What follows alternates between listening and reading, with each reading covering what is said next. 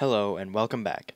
In between episodes, I did a little bit of fixing out my farms. As you can see here, I uh, added a few more crops here, and I also moved the sugarcane over to here into a plantation style farm, just to give it a little bit better of a feel than going all around this whole area, and it also is much easier to harvest now. I also did a little bit of mining, not anything too big, and I got a few diamonds and a few other materials that I needed. I just was going through caves and stuff, and so yeah, I got 16 diamonds now, so the first thing I want to do is just make a few diamond tools and other things. I also just got done fighting the raid guys, like not a full raid, just a raid party, and I made sure to not actually start a raid because I am not ready for that. Hard mode raids are insane. So I want to just make a few diamond tools and uh, maybe diamond sword I think I'll make because I just want to have a little bit better tools while I'm working on stuff around the base. Now the first thing that I want to do in this episode is do a little bit more mining just to get full diamond armor and hopefully get some more building blocks so that I can work on more builds and progress my base a little bit. I'm back from mining and I got really lucky while I was down there. I think I got 27 total diamonds from a mining trip that was at most 15 minutes. I also got 14 obsidian so I can make a enchanting table and another portal. So I'm ready for both of those and I'm actually going to make that enchanting table right now because I want to get started on that very quickly.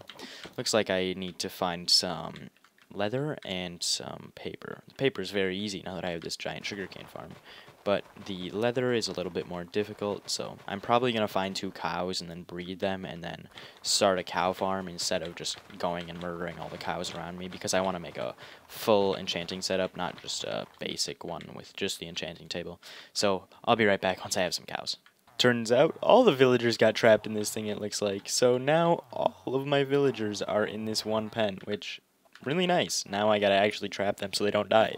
I'm gonna get that done. So this is really weird. I've never seen this happen before, where all the villagers just end up in one pen.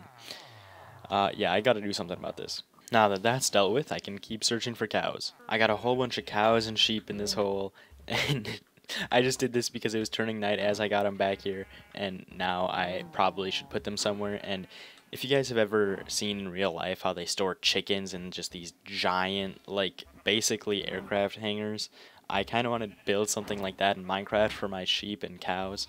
So I'm going to try to build something like that. I also got my enchanting table, so I just slightly enchanted all my stuff with base, level 1 enchants.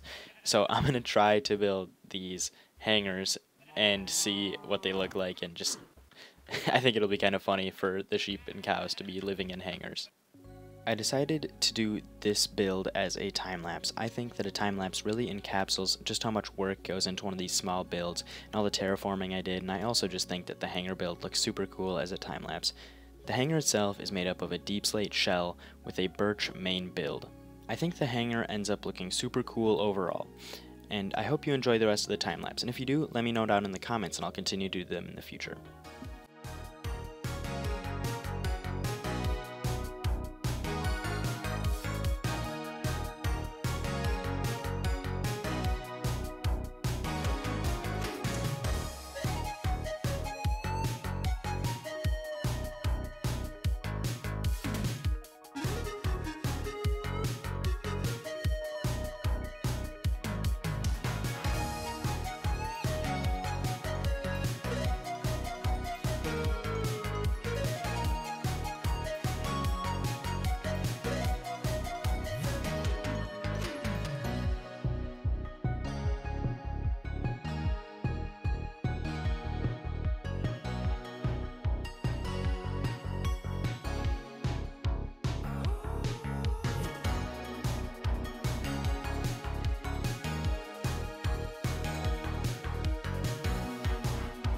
The hangar is now complete, and I think that it is looking amazing.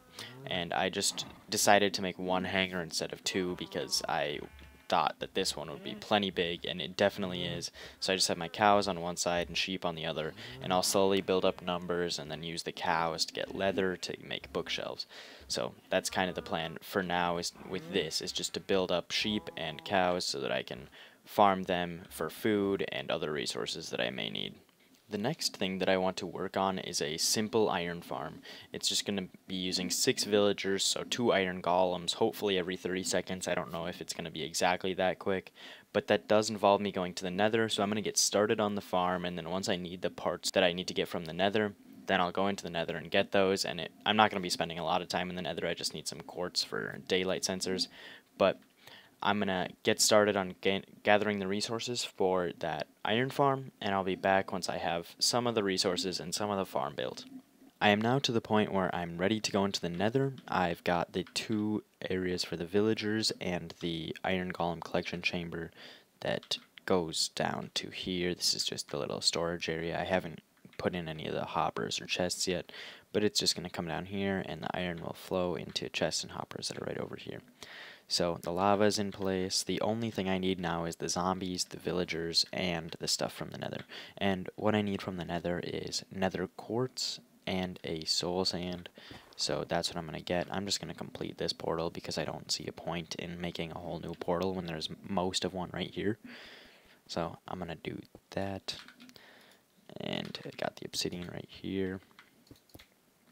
And boom, a whole portal. Now I'm going to go in, get that nether quartz and get the soul sand and I'll be on my way. And perfect, I'll take that. Literally just need one of that. I'll grab a few more though just in case. And boom, some nether quartz right there. That's pretty lucky. I am a little nervous because I spawned in the Soul Sand Valley and they're very dangerous, but I'm just going to collect some... Oh my god.